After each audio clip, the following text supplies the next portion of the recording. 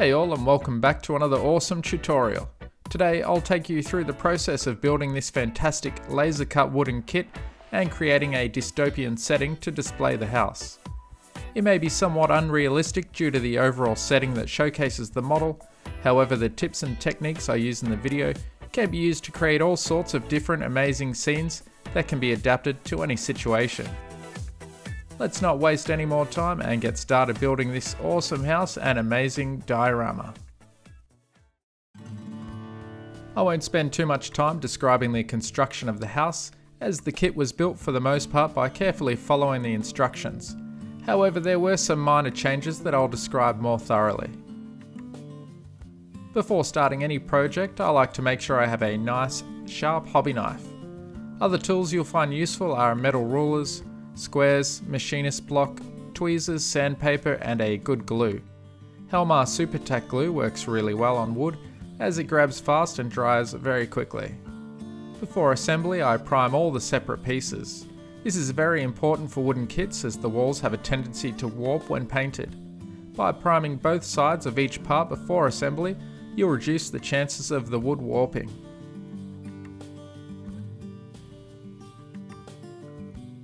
Assembly is straightforward. I simply read through the instructions and carefully follow them. Laser cut kits like this tend to go together quite well. The process of laser cutting is very accurate and provided the kit has been designed well, each piece fits almost perfectly.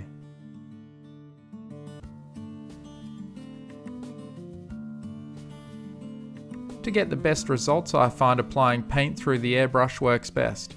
However, if you don't have an airbrush, wooden kits do quite well with hand painting as well.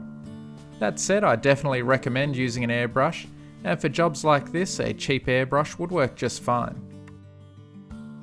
Colour choice can be a challenge if you have no reference. The way I chose the colours used for this model was by looking at a weatherboard house on Google. Once I find a colour theme I liked, I matched my Vallejo paints to try and replicate those colours. Another feature I really liked about this model was the self-adhesive windows and doors. It made assembly of the parts quick and easy. Once the windows were constructed and pressed into their openings, I added a small drop of glue in each corner. This not only holds the window curtain in place, but it also adds a bit more structural integrity to the window preventing it from falling out over time should the self-adhesive tape lose its grip. The same process is used on the doors. Standard PVA wood glue is used to adhere the walls to the main structure. To help hold the walls as they dried I used three different methods. Firstly, I used strong neodymium magnets. This works really well because you can get good even pressure on all corners of the wall by using multiple magnets. Another method was using the Bachmann adjustable magnetic clamps. And lastly, you can also use pegs to hold the wall pieces as they dry. Painting a realistic deck is much easier than it seems. This technique works for any type of deck, whether it's a wood kit, individual pieces of strip wood, or even a styrene deck. It starts with three base colours, sand yellow, ivory sand, and light brown. Those three colours are painted on randomly across each board. Do your best to try and avoid introducing any patterns when spacing out the different colours. I even leave some completely white boards in between as well, so altogether there are four different colours of boards that span the deck. To blend it all together and give it that realistic look, I thin down some burnt umber and lightly apply it through the airbrush over the entire deck. I keep adding the burnt umber colour using the airbrush until I achieve the desired darkness and then it's left to dry.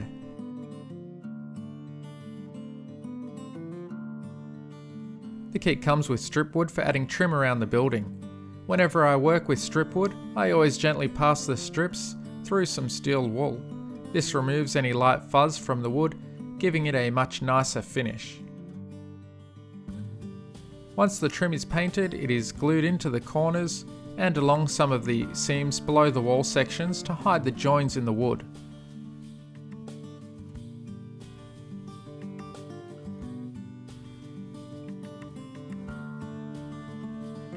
Now that the deck is dry, I attach it with PVA wood glue.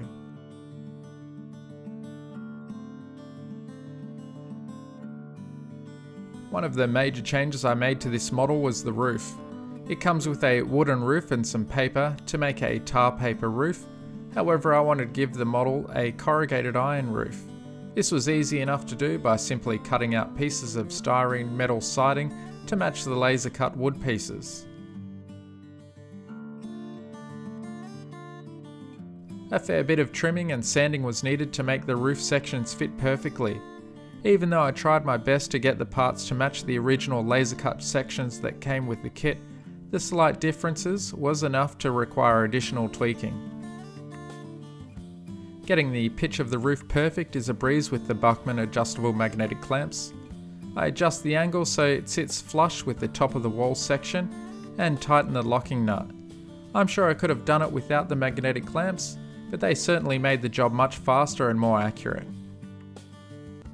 Each section of roof is carefully aligned and taped using some masking tape to ensure that it doesn't shift when gluing. Plastic cement is used to glue the styrene together and the roof bracing is also glued in place to improve structural integrity. While the separate roof sections are drying, I finish assembling the veranda. The railing is very fragile, so just be sure to treat it with care. The blue tack helps hold the pieces in place as I attach the top rail. The thin pieces of plywood are 0.7mm thick and act as spacers so the bottom edge of the rail sits just above the top of the deck.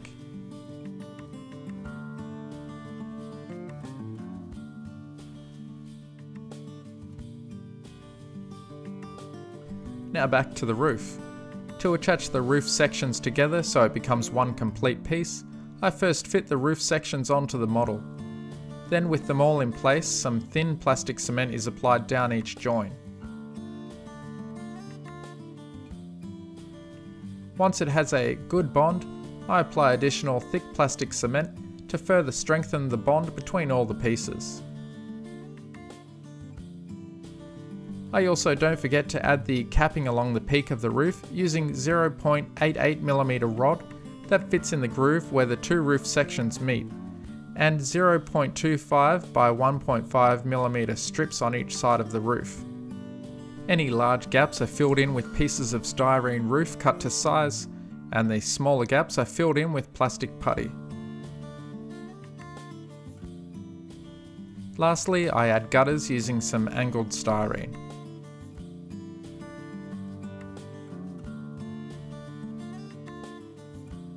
Depending on how accurately you cut the hole for the chimney, you may need to sand it back in order for it to fit. Painting the roof was a two-step process. Firstly, some Vallejo silver was used, followed by a light coat of off-white. To add a subtle effect showing the corrugated panels, you can cut a rectangle into a piece of paper and hold this over specific areas of the roof before applying some of the off-white from one corner. This brings out individual panels and if you're modelling an old roof, you can add some rust colours using this same technique. The chimney also needs painting. Step 1 was a liberal base coat of light brown. Once dry, mahogany brown was dry brushed over the top to bring out the brick detail.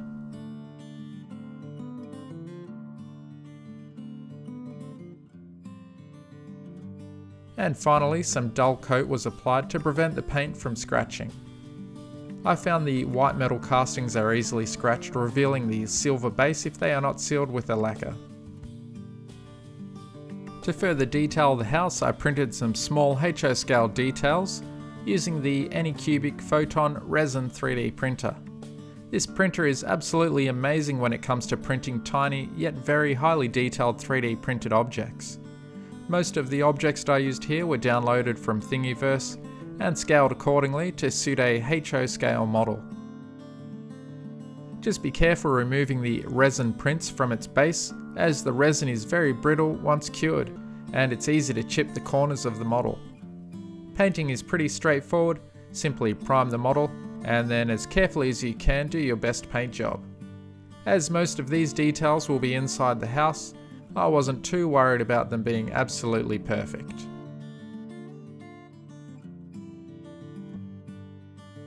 The floors are painted to resemble colours that you might find in the mid 80s, so salmon and beige are ideal. The details are attached using detail tack from Micromark. This is a glue that will remain tacky, and after a while if you want to remove the details, I simply pull them free and it won't damage the model. The glue is applied and left to dry clear before placing the items inside the house. Lighting is added using 3mm LEDs. It's a little fiddly but basically holes are drilled for the wires and a skewer is used as a mounting arm at the top of each room. The LEDs are wired together and fitted and glued onto each of the skewers. All of the LED wires are then connected and threaded out the bottom of the house. I tested the LEDs using the Woodland Scenics Light Hub.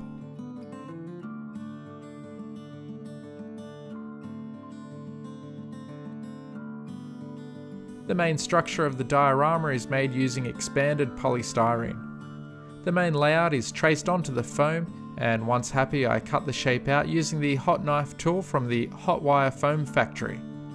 A sharp knife also works but the hot wire tools definitely make the job much faster, easier and much more accurate. All up I cut enough foam pieces to build up the diorama to approximately 18 centimeters tall.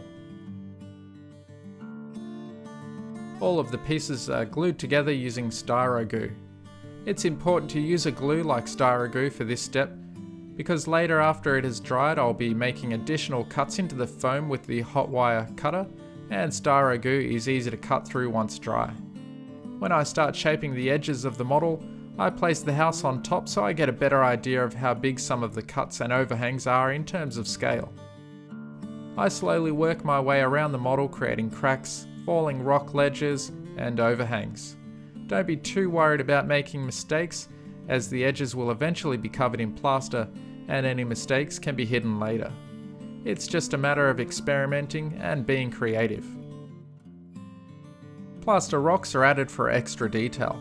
These ones were sent to me from Noch, along with some other scenic materials I'll be using later, as well as for future dioramas. The cardboard package on these rocks turns into support for holding the moulds once you pour in the plaster. It's a great idea and makes pouring the rocks much easier. Noch get a big thumbs up for this little feature.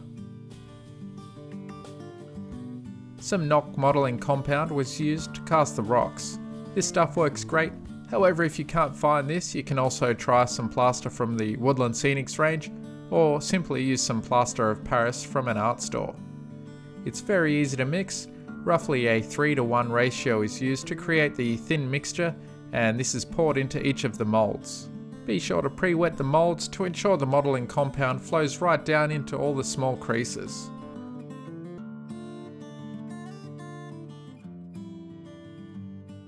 Once the plaster has been poured, tapping the mould or tapping the table helps any air bubbles raise to the surface and also helps the plaster reach all those tight spots.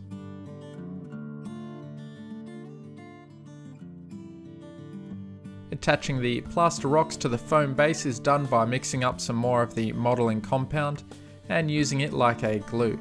Just be sure to pre-soak the rocks with water to ensure good adhesion and the mixture should be quite thick. I test fit each rock in its desired position prior to attaching it with plaster just to make sure it looks good.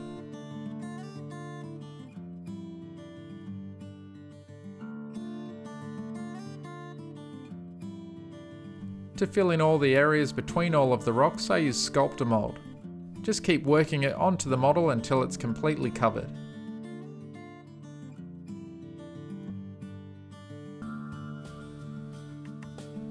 I'm not too worried about getting it completely smooth, as this will be covered in dirt later. Before adding the dirt, I drill out the holes for the pipe that was 3D printed using the Anycubic Photon 3D printer. All of the tiny exterior details except for the car were made using the 3D printer.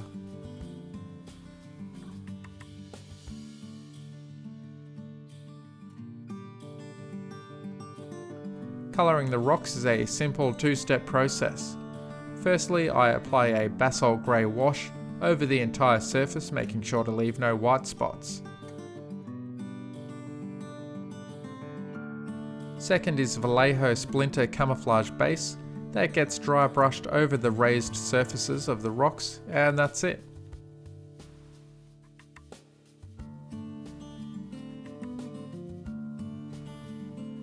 The dirt that covers the diorama is basically backyard soil. I literally walked right outside and scooped some up.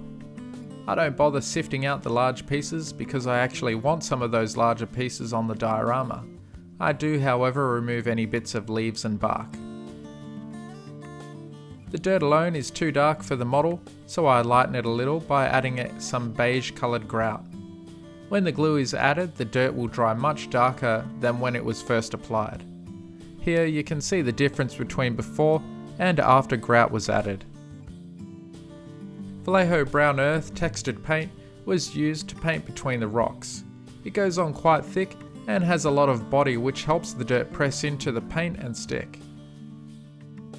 I only work in small sections at a time so that I can tilt the model on its side when applying the dirt. I add the dirt in quite thick layers across the paint while it's wet.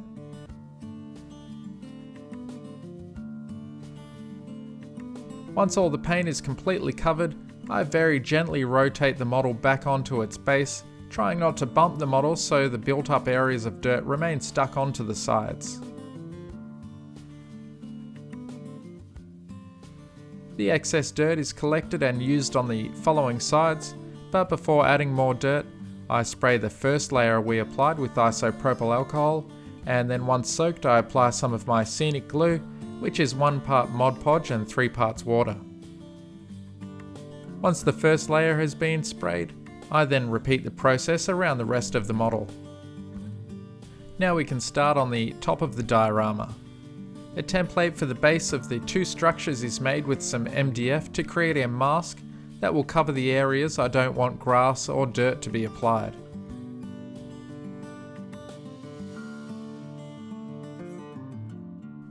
The dirt texture that covers the top surface is a finely sifted dirt mixed at a 50-50 ratio with beige coloured grout and it's applied through a stocking. The brown earth textured paint is used to colour the base and is only applied quite thin.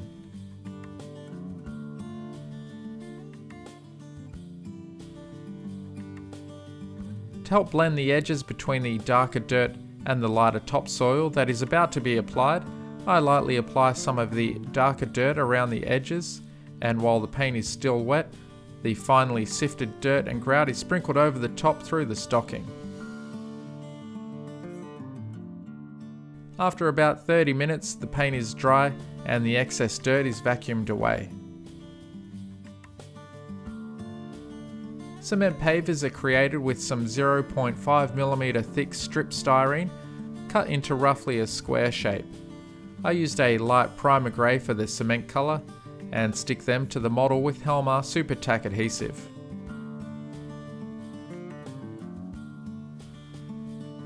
In previous tutorials, you've seen me use my homemade static grass applicator. However, for this build I'm using the Noch Gras-Master 2.0. The people over at Nock sent this to me with a range of their static grass and static grass glue to try out, and so far I'm very happy with the results. Some of the grass colours are a little bright for what I wanted, but the scatter grass meadow is perfect for the lawn. The grass applicator hopper is filled with a small amount of grass and put to the side so it's ready to go. The grass is only 1.5mm long so I use the fine mesh screen on this layer. The static grass glue is applied liberally to all the areas I want the grass to stick. I avoid getting any on the cement pavers, and to get in between all the small gaps I use a smaller brush. The grass applicator is powered with a 9 volt battery, so there are no extra cords to get in the way. Simply tip the applicator upright and gently shake while holding the applicator approximately 3 to 4 centimeters above the surface.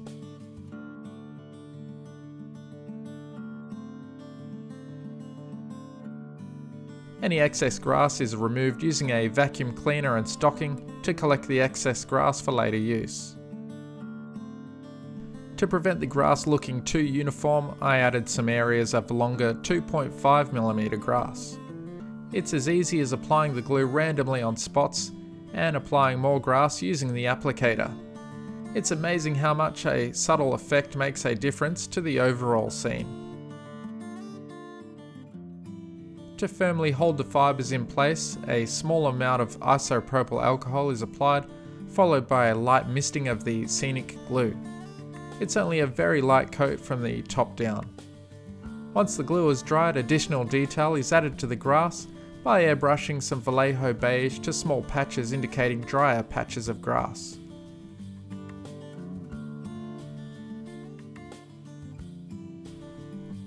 With a quick test fit of the house and garage, you can see how much of a difference adding the grass makes to the overall scene.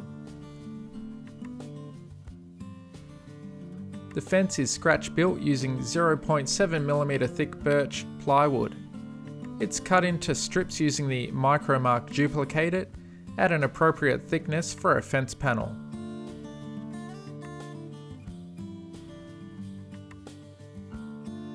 Each strip is then cut to make the fence panel using the Micromark Chop-It.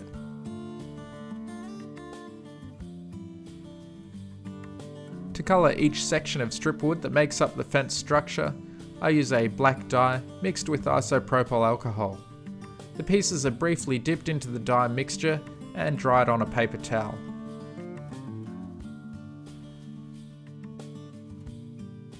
Once you know the length of the section you are building, I trace a template onto the paper to act as a guide. The paper is very lightly sprayed with a spray adhesive and then the fence panels are placed one by one until the desired length is achieved. The cross-section pieces are glued onto the panels and once dry the fence can be peeled free from the paper.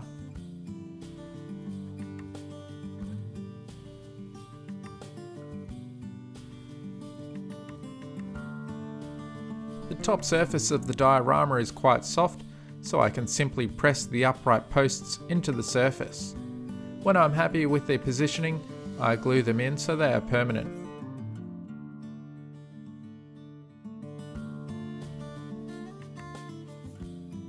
The rest of the fence can then be glued onto these upright posts.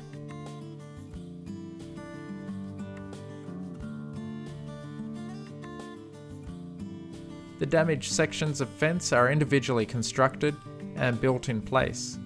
There's a bit of trial and error involved in testing what looks good and what doesn't.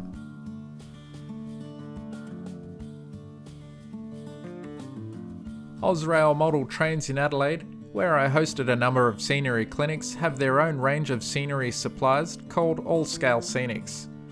I've decided to use some of their corn stalks on the back section of the diorama but I first add some ground up leaves and bark to add a bit of texture and colour to the ground where the corn stalks will be placed.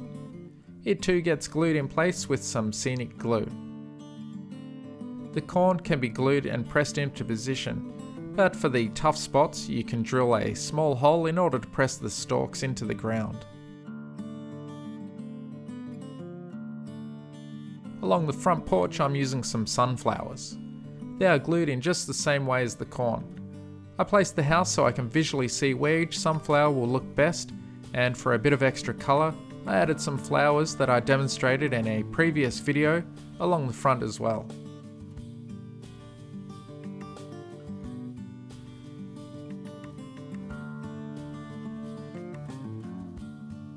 The last item I'm using from All Scale Scenics are these tomato bushes. A couple of these will look perfect along the side of the house.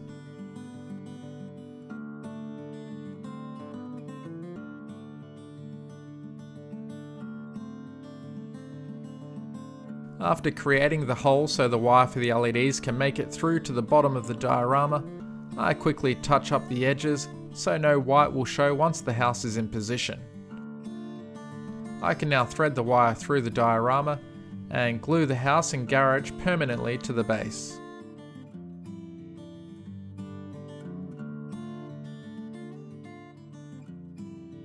Now I can start to add all those tiny details I printed using the 3D printer.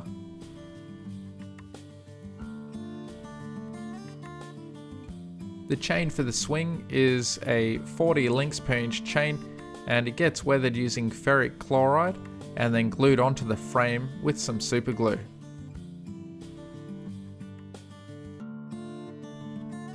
A piece of fence panel was used as the seat.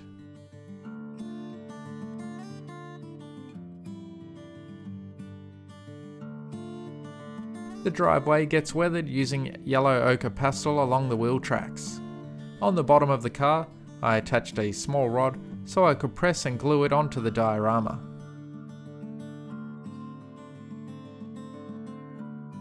To make a base for the model, I used 3mm plywood and cut it to shape. Next I glued the plywood onto some foam using polyurethane glue. Once the glue was dry, I used a hot knife to remove the excess foam and gave it a quick sand. Then lined the edges with some 0.8mm plywood. I initially used some clamps to hold the plywood, however I found the base was small enough and I used a bunch of rubber bands on the other pieces. Once dry, any overhanging plywood is sanded back and gaps are filled using some wood glue and sawdust. I would have used proper gap filler, however I just run out, but the wood glue and sawdust seemed to get the job done. The hole for the LED is carefully marked and drilled out. Additionally, the hole for the switch is also cut out prior to painting.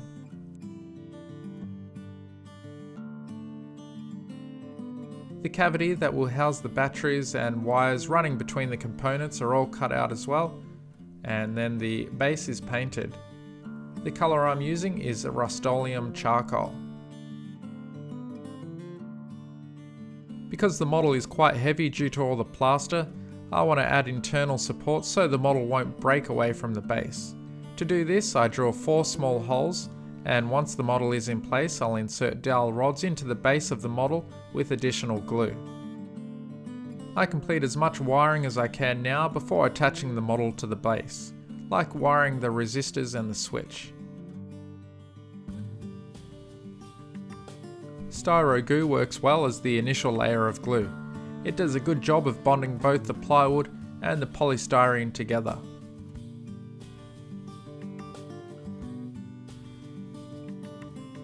The dowel rod has a point on one end to make it easier to push it into the foam, and small grooves are cut along its length to improve the ability for the glue to make a permanent bond.